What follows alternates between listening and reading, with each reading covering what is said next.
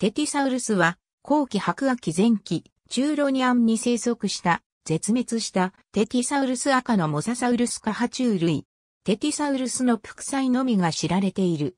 化石学名はノプシャのテーティウスのトカゲを意味し、ギリシャ神話の女神であるテーティウスとアドリア海の水星ユーロコメの研究の先駆けとなったマジャル人の古生物学者、フランツ・ノプシャを反映している。テティサウルスは、モロッコのロシディア州ゲルミマ地方に位置するタダースと村とアスフラ村の付近で発見され、ほぼ完全な、つながった頭骨、化学骨、椎骨、断片的な四肢を含む三つの化石が産出した。バーデットラは後にテティサウルスの表徴形質として以下を列挙した。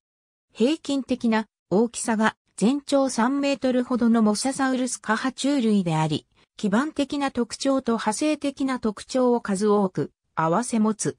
このため、かつては原始的なセノマニアンのアイギアロサウルス赤とチューロニアンからマーストリヒチアンにかけての派生的モササウルス科との中間段階として位置づけられた。後の分析では、テティサウルスはラッセロサウルスやヤグアラサウルスと共に基盤的なチューロニアンのモササウルス科系統群としてラスリソリーナに位置づけられている。テティサウルスの強膜林以下のクラドグラムはマキャディエトールでの解析に基づく。